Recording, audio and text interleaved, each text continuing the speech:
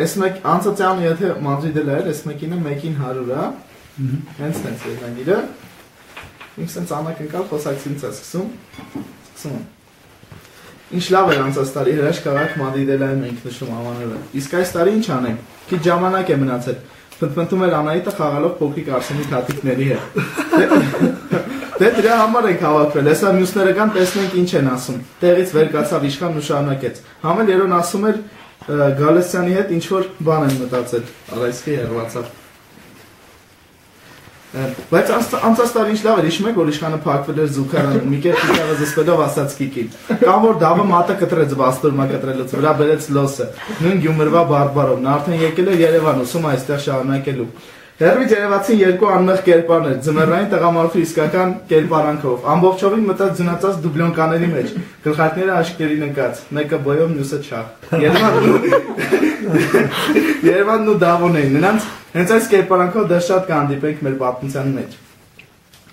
Հա ներեխեք, ինչ խաբարն եք, ինչ ենք անելու այս տարի։ Ձայն տվեցին 4 կողմից։ Բայց իմացա, կուլիսը թազա բրազիլիացի ֆուտբոլիստ առել։ Ասեց ու ինքն էլ իր հումորի վրա մի լավ զվարճացավ Գալստյանը։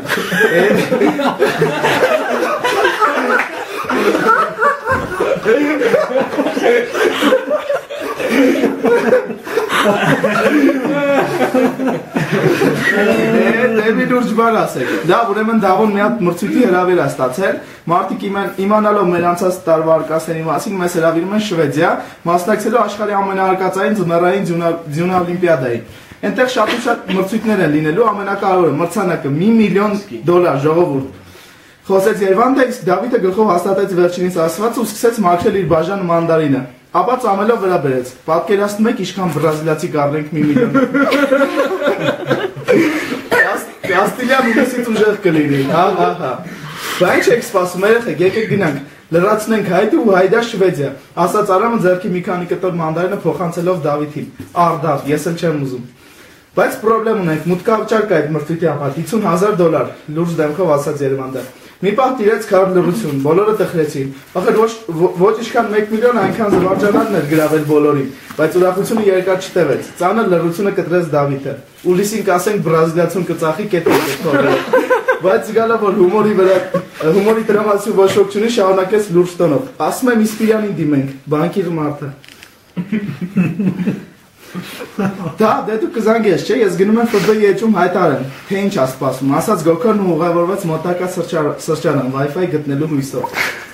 Ներողություն։ Դե առաջին տեսարանը ավարտվում է։ Շրջանը կահավորված էր անտիկ ոճով, անկյունները տակուկ էին, միջնամասը քիչ լուսավորված։ Պատերին տարբեր ժամանակների գործիչներ ու արվեստագետներ էին։ Չե Գևարա, Բոբ Մարլի, Ջոն Լենոն, Ստալին։ Երթությունից հեռու Քենեդու հայացքի ներքո զրուցում էին երեք հոգի։ Երեքն էլ սոսնձվել էին իրենց տակուկ սուրճի բաժակներին ու հաճելի վիճում էին ինչ-որ թեմայի շուրջ։ Հարուտ այդ 50000 դոլարը դու ախր ասեցի ասեցի որ ունես։ Տուր, մենք կգնանք, միլիոնը կշահենք։ Կբերենք կտանք քեզ 50-ի տեղը 100։ Սաղուզա Մանդարինը։ Դավ ջան, ասում եմ դրա տեղը վարդ վերցրեք։ Ես հետո որ որ մեկիցը դուզեմ փողը։ Հետո ասենք իմը չի, բանկի աշխատակիցների փողն է։ Ամբողջ տարի կուտակել եմ որ գնան ամանորի մի տակ երկիր։ Ոչ չեմ կարա խափել։ Հա, ախր որ մեկից 50000 կտան վարկով։ Որտեղը տուն բան գրավ չեն դնելու, միջամտես միջ այդ լուր նստած Երևան դեր։ Այ երո ջան, վատ դրության մեջ եք գնում, մի խոսքով անհնար է։ Հա, բան չունեմ ասելու, ունեմ 50000-ը, հիմա էլ տունը դրած է, բայց իրոք չեմ կարա տամ։ Շատ ռիսկային է, պլյուս պետք է։ Տղեկ ես դուրս գամ, հա, տեղից վեր կենալով ու գրպանից դրամաբանակը հանելով ասաց Իսպիրյանը։ Մենք կտանք, դու 50000-ի մասին մտածի։ Վրա բերեց Գալստյանը։ Հաջողություն անունց հետո նստեցին, լուր հայացքով ճանապարհեցին միջև դուռը։ Դրան բացելուն պես ներս մտած առաքամի, դրսում ձուն էր գալիս։ Մինչև ուսումնասիրում էի կռոցած մատուցող ու կիսաբաց մեջքը լսեցի Գալստյանի ցածր ձայնը։ Հիանալի միտք է։ Չէ, դա ինչ ես ասում, դեմքին նայել ես։ Ինչ է։ Զարմացավ Գալստյանը։ Հետո նկատելով մատուցողուն շարունակեց. Դրա հետ չեմ։ Ասում եմ, ասում եմ։ Հիմա էլ տունը դրացա։ Չեմ հասկանում քեզ։ Մենակ գիտեմ, որ պետք չի մադրիդիստներին կոտրել։ Ախր նրանք տրամադրվել են։ Գոքորն էլ ստատուս ա գրել 2600 լայք կա արդեն։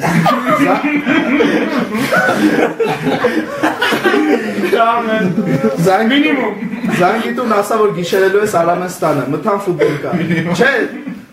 Չէ, դա ասեցի որ չեմ հավանել մատուցողում։ Մի երկար ասա գնացի, մեր աշիվը խնդրեմ։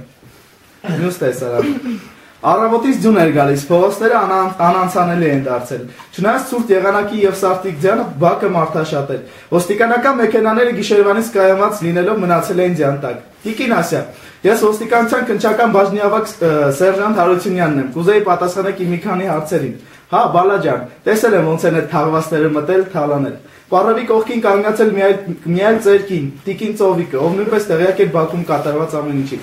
Ընկեր ոստիկա, ես ճիշտ է քնած եմ եղել, բայց ասում եմ բոմժեր են եղել, բուդմուտ են գողացել, կոշիկ, շոր, բան։ Տիկին Ծովիկ, խնդրում եմ չխանգարել, նման կարգի ինֆորմացիաները հաստատ չեն։ Շարունակեք Տիկին Ասիա։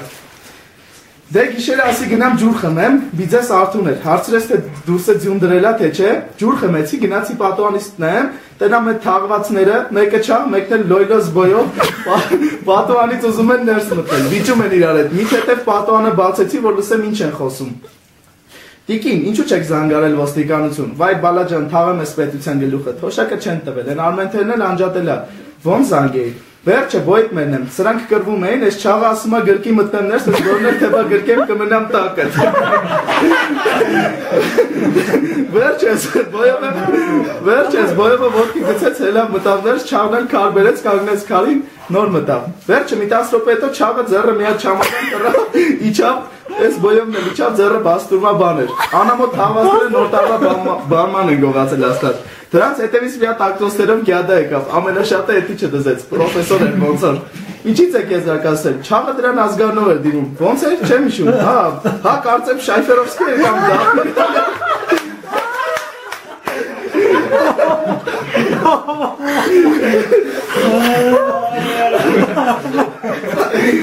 Վերջը տենց գնացի, դա շատ բան չեք գողացել։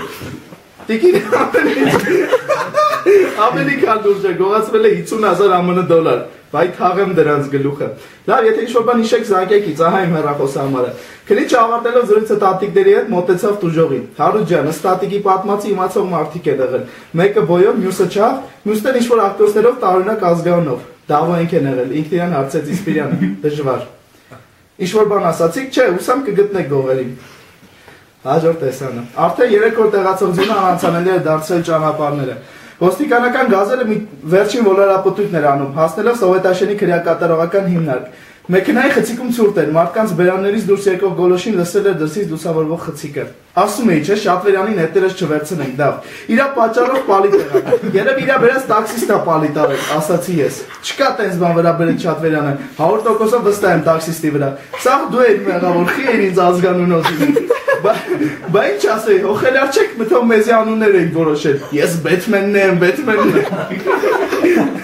Լավ, լա տվեք սուսեք, զայրացավ Դավիթը։ Մտածեք ինչ ենք անելու։ Մեզ հերիք չկդատեն մի 15 տարով։ Հələ Հարութի մոտ էլ ու ալամ աշխարհով մեկ խայտարակ կլինենք։ Դավ, կարևորը փողը տվեցին երեխեքին, չէ՞։ Մենք էլ։ Արա շատ վերան ոնց մենք այդ sense մարդեր կլինի։ Ոնց որ առակ 16 մենակ երկու Դավիթների հետ կգնա գողության։ Բացի այդ երեքից մեքենայի խցիկում 90-ից տղամարդ կար, որ չնայած ցուրտ եղանակին կարճաթևով էր, իսկ ուսին դագաղի նակոլկոն էր։ Սա ոչ միայն ուշադիր լսում էր տղաներին, այլև վառնվեց խոսակցությանը։ Տղեկ ձեզ էլ է սովետաշեն տանում։ Գիտեք, ինչո՞վ բանդեր նայողը։ Սմբոնա 45 տարի դատվել է։ Մտել է մեկի տուն սաղին կտրատել ու թաղել Բաքում, բայց բռնվել է ու ձեզ հաստատ չի ավանի։ Բարսի մեծ բարեշիկա։ Սաղ է բարսի բարեշիկա։ Ահոր չէ, ավանիչ։ Ոնց, չգիտեք ինչ էր ալինում բերթում։ Խամեք, կսովորեք։ Նայնգորեն ժպտացն ու սկսեց հաշվել ձեռքի ֆզբեխը։ Բանդախուց գնալու ճանապարհին երեքն էլ լուր էին։ Հա? Չուն բռնում։ Միայն Դավիթը մի պաշտ շնջաց Երևանի ականջին։ Ինչ է լինի քեզ տղամարդավարի կպայես։ Մտելով խոս նրանք դաժան տեսանի ականատես եղան։ Տարբեր տեղերում հավաքված խիստ դեմքերով հանցագործները կարծես պատրաստվել էին ճոխեցունելիության։ Իսկ կենտրոնում նստած էր նա, սմբոն, դաժան դեմքով, դեմքով, մոտ 30 տարեկան, դեմքի աչաշկն ու շուրթերը կապող սպիով։ Արես դուք եք ուզեցել աշխատավորներից 50000 կորզած լինեք։ Արես դուք եք գողնում, հա նոր տարվա մարդկանց ուրախությունը։ Այ ոչխարներ։ Ասեց ու տուր թե կտաս այնպես արվեցեց Գալստյանի, որ վերջինս անգիտակից ընկավ գետնին։ Բոլոր բանտականները վեր կացան։ Ու երբ պատրաստ պատրաստում էին մեծ ծեցել, հետևիցս լսեցի Շատուրյանի ձայնը։ Արա սմբատիկ ես դու ես։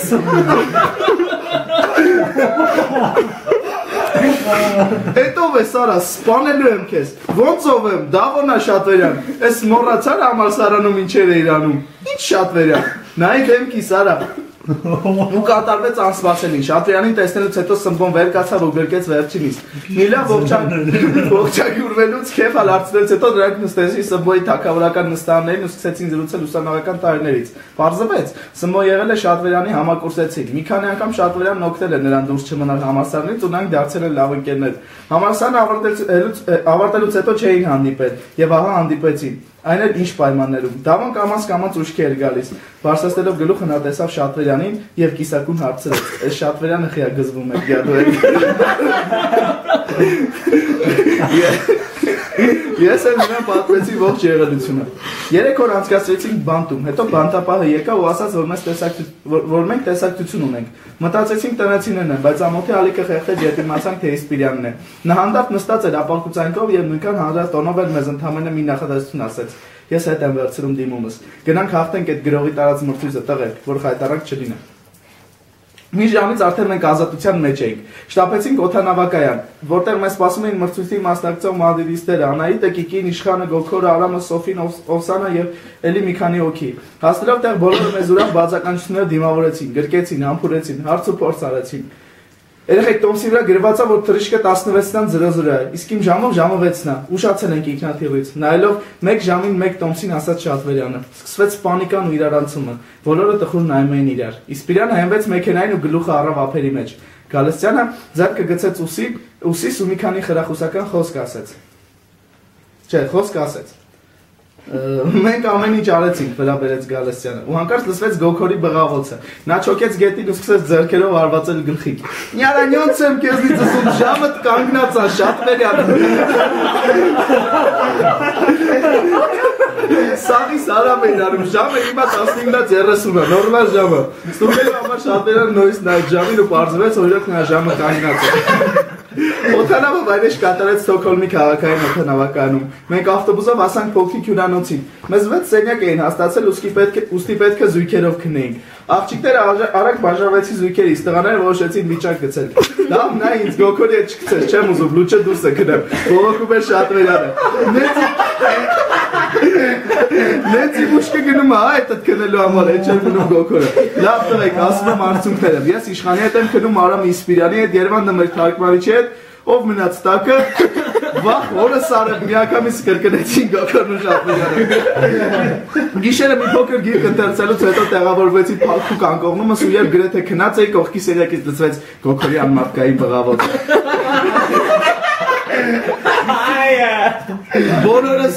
դուրս եկանք միջազգ։ Ախ, շատ վերյան, որ մեղքիս համար բղավում էր գոքորը ու վազուզում միջազգով մեկ։ Ժողովուրդ ի՞նչ մեղք ունեմ, ասի թե խմեմ, աշկս չտեսա ոտից տակ ինչ կար, սա թափեց գոքորի վրա։ Լրիվ միամիտ։ Քանի որ գոքորը կտրուկ հրաժարվեց Շատվերյանի հետ քնելուց, ես տեղափոխվեցի այդ սենյակը գոքորի փոխարեն։ Հաջորդ առավոտյան մենք իհարկե հաղթեցինք մրցույթում եւ իշխես Մադրիդելայում էր, այս անգամ ես նույնպես չեմ պատմի, թե ինչ մրցույթներ կային։ Սակայն մի հետաքրքիր դեպք տեղ ունեցավ։ Եվ այսպես մրցույթում հաղթում են Հայաստանի ժամանած մասնակիցները։ Շվեդերենով ասած մի գեղեցիկ աղջիկ։ Ավաղ նրանք չեն ստան իրենց ասանելիք 1 միլիոնը։ Փոխարենը հենց այստեղ իրականանան նրանց նվիրական երազանքները։ Դա ինչ ես ասում, բա հիմա ինչ ենք անելու։ Մտահոգված ասացի կողքից կանգնած Գալստյանին։ Չգիտեմ, երո, տեսեն գեղեցկին ինչպես է ճպտում ինձ, գնա մոտը։ Ասաց ու վազեց մեզ մեզ ճպտացող շվեդու մոտ։ Շատ վերան ինչ ես կանել, ախպեր, մի խորտ ու տեսնեմ ինչ ենք անելու։ Ապեր չի հետաքրքրում, հենց նոր նամակ ստացա ղեկավարիցս, պետք է համալիրի նման շենք նախագծեմ, որ կառուցվելու է կրծած կուկուռուզնիկի տեղը։ Պատկերացնում ես 30000 նստատեղով համերգասրահ։ Ես թռնում եմ Հայաստան։ Գոքոր Ազիզ, ինչ անենք։ Երբ չես հավատա, հենց նոր Ռեալի ղեկավարությունից հրավիրեցի Մադրիդ, այնտեղ լրագրողական հմտություններս կատարելագործելու ասկա մարկա պարբերականում գործի անցնելու համար։ Արա իշխող արի ելը։ Ապե բենզի հետ եմ խոսում, հարկադրություն։ Արա լավ սա գժվել է, իսպիան են բանկիների հետ ինչ այն բանկիների հետ բանակցում։ Եր նայ թազա գիտարս, նոր նորա, լրիվ իմ ուզասնա։ Հա Արամ ջան, Անահիտի տեսել ես։ Հա Ռաուլի հետ է խոսում։ Արա գժվել եք։ Երեխեք վաղ իմ սեփական խմբով գնալու եմ անի պեղումներ կատարելու։ Շնորհավորում եմ Օվսանա ջան, երեխեքի հեչում ես տեսել։ Հարցից վրա հասկացա բոլորի երազանքները կատարվել են։ Դավոն արդեն ամուսնանում էր Իսպիրյանը շվեդաֆինական բանկի հետ պայմանագիր է ստորագրել։ Արամը նոր թանկարժեք գիտար ուներ, իշխանը բենզին հարցազրույց էր մեկալում։ Լավ, ես էլ մի երազանք պայեմ։ Առանց միլիոնի հետ չենք վերադառնալու։ Պարոն Իսմայլյան, դուք Շվեդիա արցելած 10 միլիոնի օր տոտար ազգին եք։ Դուք շահել եք 1 միլիոն դոլար։